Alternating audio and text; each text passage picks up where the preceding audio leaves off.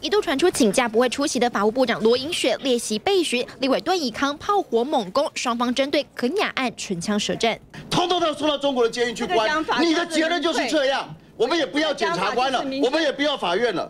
我觉得你真的可耻。我我觉得这样讲法才是民粹。拿出外交部韩独委会报告，强烈指责大陆侵害管辖权，但对法务部报告内未提出严正抗议，质疑法务部的态度有问题。法务部长罗英雪动怒反斥：“你再讲一次，上来，再来一次。”您这样讲就是刚刚您讲的民粹，要我举例我就这样说。双方火气这么大，就是因为台湾诈骗集团猖獗，刑责却很轻。二零一一年，刑事局针对诈骗和东南亚国家同步发动行动，跨境打击诈欺。当时逮捕五百九十八名人犯，台湾人犯就有一百二十二名，号称空中监狱，花钱出力，大动作分批包机回台。结果地院审结，只有一人需要入监，其他通通轻放。法务部要去严厉研修这个法律，呃，刑。法看要不要去修改它的刑度，那这些部分我们这个修法的这个想法也会提出来讨论。